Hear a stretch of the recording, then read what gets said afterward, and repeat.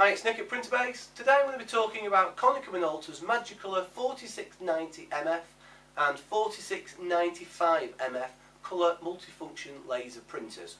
Both have a first page out time of around 18 seconds, both print and copy at speeds of 24 pages a minute, both duplex or double side print, copy, scan and fax, both have optical scan resolutions of 600 by 600 dpi and both have a high-speed 33.6k fax modem. Both machines use the same chassis so they do look the same. This machine is the 4690MF. I'm just going to run through some of the specs. So first of all on the right hand side you will notice that there's a 100 sheet manual feeder. There's a 250 sheet internal paper tray and you can add an additional 500 sheet tray if you wish. On the left you have the output tray which will hold about 250 sheets. Here on the top there's the automatic document feeder which will hold 50 sheets and that's used for doing your copying, your scanning and your faxing. If you can't put a piece of paper in there because it's stapled, perhaps it's a book, you can lift the lid and you can use the glass platen here on the top.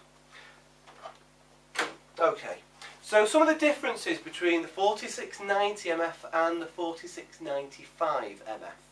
First of all, the 4690 has a 200 megahertz processor, whereas the 4695 has a 500 megahertz processor.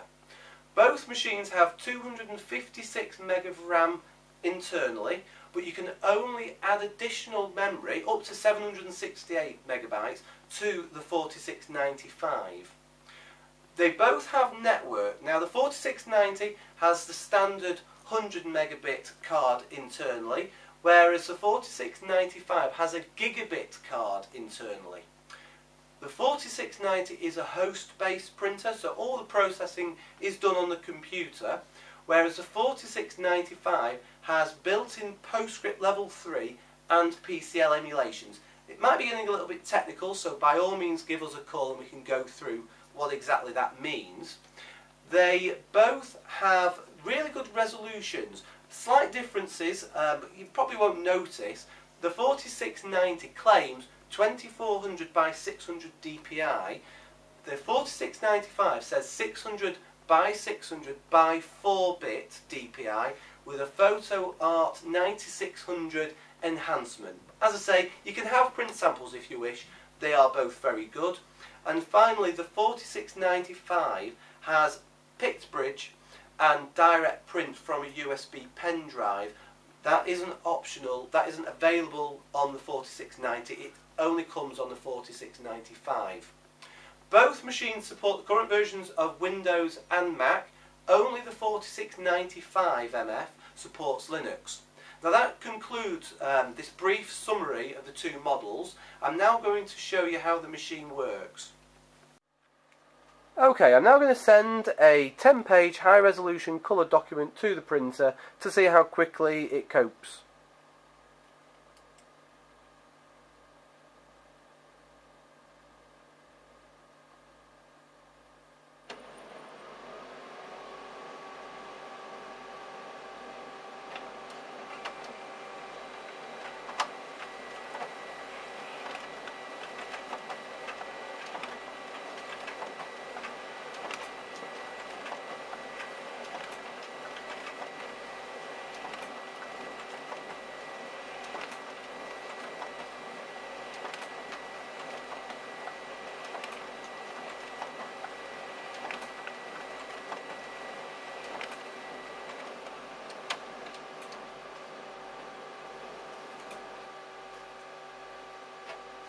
There you go, not too bad. And if you want to see these samples, then just give us a call and we can send them to you.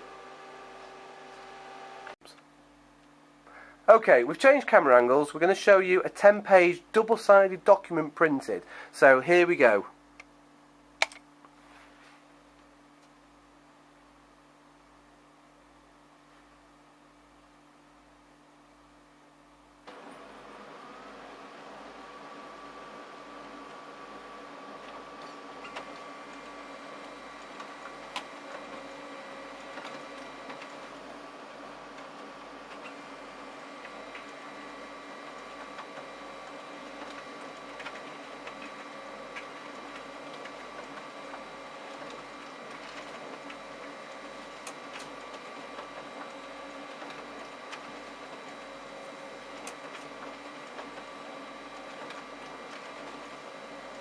Some machines stick the paper out and suck it back in to do the second side, which can be annoying because as it comes out for the first side, you want to grab it and find out that you've jammed the whole printer. So I like the fact that it only comes out once the second side has been printed, which is great.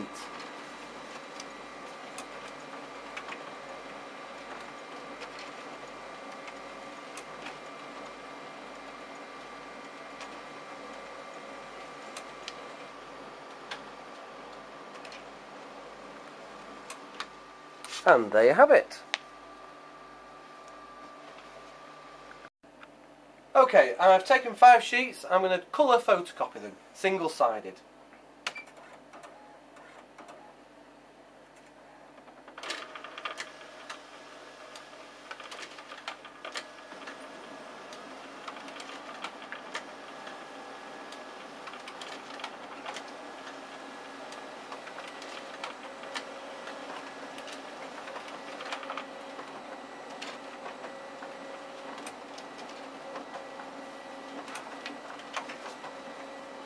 So those are the originals. Those are the photocopies. Okay, for the final demonstration I've set the printer up so it's now going to do a double-sided colour photocopy. There's five sheets of paper, let's see how quick it can do it.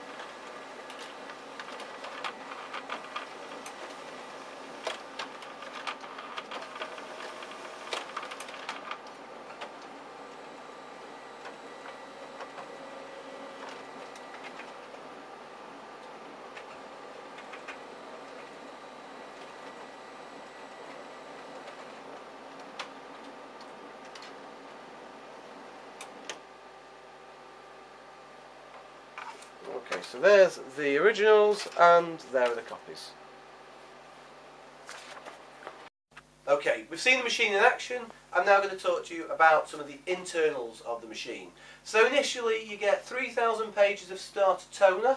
When that runs out you have the option of either a 4,000 page or an 8,000 page replacement toner. The 8,000 page toner is better value for money but obviously it's more expensive. To replace the toner it's very simple. You simply pull the front of the machine down, you'll see a little locking lever here. If you simply slide that across it moves down and you can pull the toner out. Very simple. You get four print units which put the toner on the page. They do 30,000 prints. If you need to replace one of those, very simple to do. You simply push down where it says push and it simply slides out. You get your new print unit and simply slide it back in. And toner to put back in. All of them exactly the same, very simple. You also have a waste toner bottle. It depends what you're printing. The waste toner bottle will do up to 36,000 mono pages and 9,000 pages if you just print colour. So for most people you're going to get somewhere in between that. Waste toner bottle, when you first get the machine, is totally empty. As it fills up and you need to replace it, it's very easy to do so. Little lock here, you simply twist that and it pulls out. So really is nothing difficult about maintaining this machine. There are other maintenance items, but they're going to do at least 120,000 pages, so you shouldn't need to replace them. So I'm not going to discuss those, apart from I'll just show you how to access the side of the machine. So when you switch um, to the right hand side of the machine, you'll notice a lever here. When you pull it down, you get inside the machine. If you get any paper jams, you can get to them very easily. The fuser unit is here and as I say, if you get any jams at all, there isn't um, much in the way of difficulties. Some machines are difficult to access, this one's pretty easy. If you get a paper jam in the automatic document feeder, there's another lever here on top. You simply switch that and any paper can be removed there. And you can also access here, this is where the duplex unit is, so as it comes out of the printer, if it gets jammed, you can get access to that very easily. At time of filming, Konica Minolta were also providing a three-year on-site warranty free. Now, you need to check whether that's still available. If it is available, it's a great purchase. If you want any more information, please don't hesitate to give us a call on 0845 230 7234 or visit our website www.printerbase.co.uk. I'm Nick and thanks for watching.